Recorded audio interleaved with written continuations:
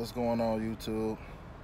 Another thing I want to say is like, subscribe, comment on any of my content in my videos, pass the word around, be greatly appreciated.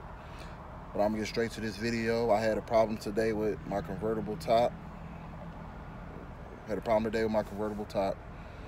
Um, as you can see, that hole right there. I'm gonna get into that a little bit with the video that I've seen. With a video that I'm gonna post, not a video I've seen. Video I'm gonna post, I'm gonna get to that video as of the issue that's going on with that. Of course, I take it back to the dealership. Um, it's still under warranty, so they're gonna have to fix it. I'm pretty sure it's not gonna be a quick one day turnaround fix. They may have my car for a few days, which is fine. I have another vehicle. But I also wanted to get into the things that I don't like about my 2018 Camaro SS. One of them is if you're a little bit taller, I'm only six feet. Um, the visibility, like seeing with a little bit taller and it's a convertible. The visibility that I'm seeing with, like, uh, when you're seeing the stoplights, it's like this that bar right here. That shit right there. It's like you pull up under a light, that shit is right perfectly blocking the goddamn light. Um, that's one of the things I do not like. You either gotta pull a little bit further up or don't pull as close to be able to see the light. So that's one of the things. That's fine. That's one of the things that I've noticed that I definitely do not like. Um, another thing that I don't like, honestly, is, I mean, the car sits too fucking low. I know it's sports cars, all they sit low, this and that. But I've never been a fan of cars sitting low, so I'm really contemplating getting some little bit bigger rims, maybe some 24s. I won't go as big as 26.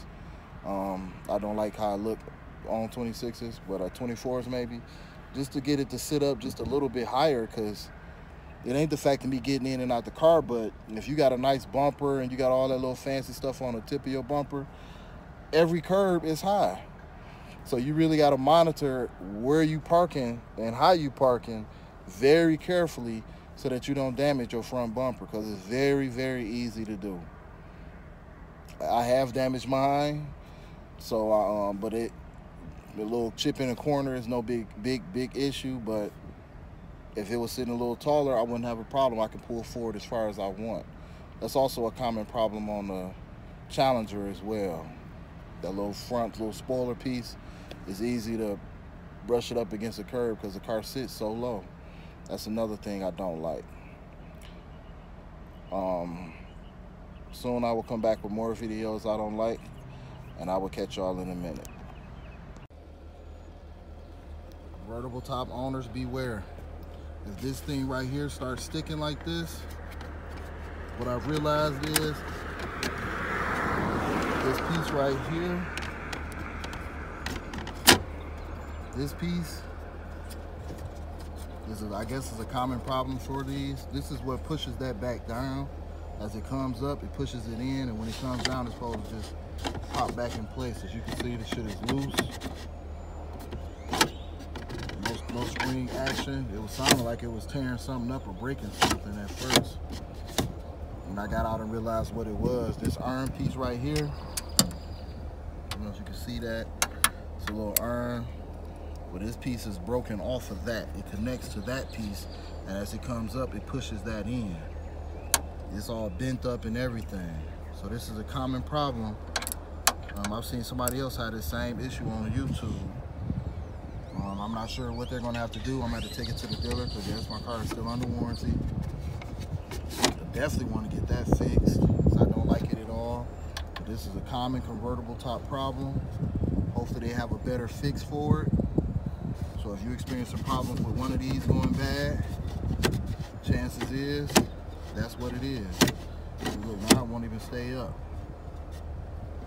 because that piece broke. And I'm gonna show you example on the other side.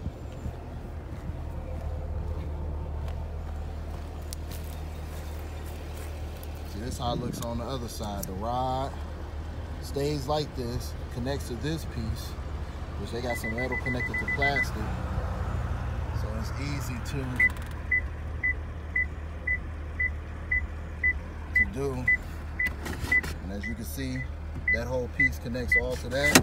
And what it does is pushes that in as it comes up. Pushes it all the way in. It should have spring tension action on it at all times. And, that's what makes it just pop back in place. So this is a common convertible problem I'm letting you guys know about.